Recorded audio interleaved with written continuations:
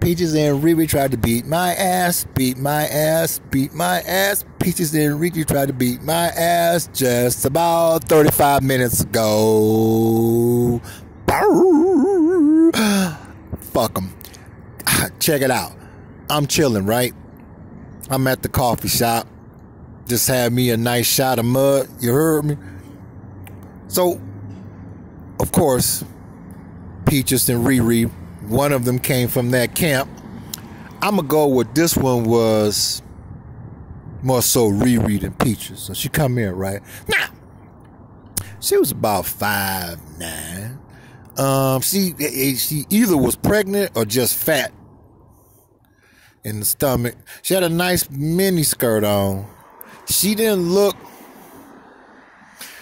Fellas, y'all ever see a, a, a Peaches or Riri where she still got some of her feminine physical facial features where she on her way to start looking like a man, but it ain't started to really majorly go that way. And she has some real nice legs, but it was one other fucked up problem about it. She had a big ass motherfucking tattoo from her hip all the way to her kneecap. It was completely covered with a big tattoo that covered like uh, half of her rear leg all the way around to the front half of her front leg. So I, you know, I'm like, all right, you know, so I'm sitting there, you know, doing my thing, and she gave me the look like motherfucker. You see me standing in this line. Now you supposed to offer to pay for what I'm about to purchase, so I can keep my money for me. And I'm like, ah, this this bitch is about to get a awakening. nah, I ain't do shit. Oh man. Oh man. Oh shit. If we was not in the suburbs, she would have cracked me in my fucking head. That's the only reason why she didn't hit me. Cause she started to get closer. Y'all know that commercial? Get a little closer so I can bust you in your shit. Well, let's get closer so I can knock your ass out, yeah. Mm-hmm. She's about to bust me in my fucking shit. Yeah, because I was supposed to offer to pay for her stuff, and I didn't even know her. Yeah. Yeah. And I'm just like, this bitch got it all wrong. I don't give a, I don't give a fuck. And she looked like, yeah, I see your ass again. Your ass is mine. Remind me of that song made by Scarface, The World Is Yours. You can run, but you can't hide to find you. Just when you think the shit is over, I'm standing right behind you.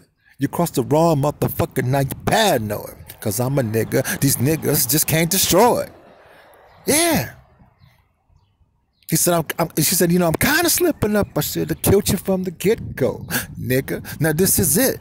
That's the way she came on me. The song is called He's Dead on Scarface solo album, The World Is Yours, if I'm not mistaken.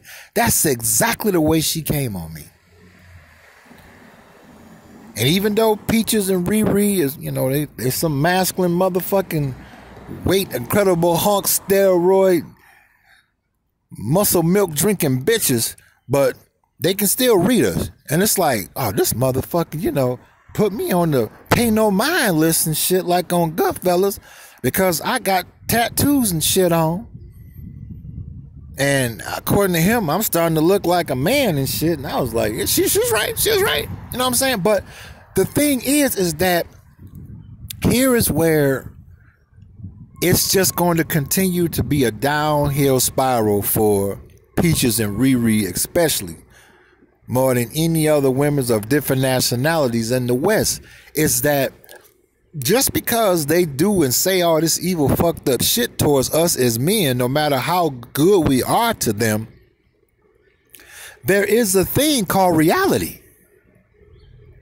And that's what the universe was created on truth. And us as men are logical beings.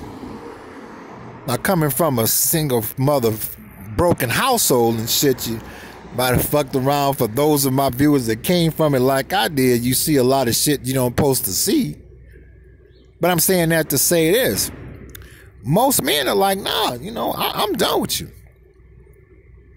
See, now Peaches and Riri, like I said in my other video recently, they starting to come out here in the suburbs where I'm at, you know, trying to blend in with the pretty white women. And it's like, well, nah, cause you masculine and you on you you men with vaginas and shit, and y'all all fucked up. So y'all gets no love. Now I, y'all will feed you.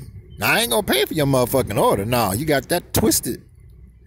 You know, but no, they trying to you know come back and shit again like one of them songs from the Geto Boys, gripping on the other level, called Trigger Happy Nigga. He says some stupid motherfucker said I owed him. I don't pay him. I play. I told this.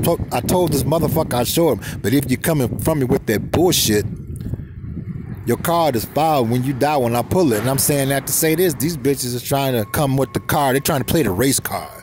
That we the same motherfucking color. She want to be black and shit when it's convenient for herself is stanking ass. But like I said, almost got my ass whooped.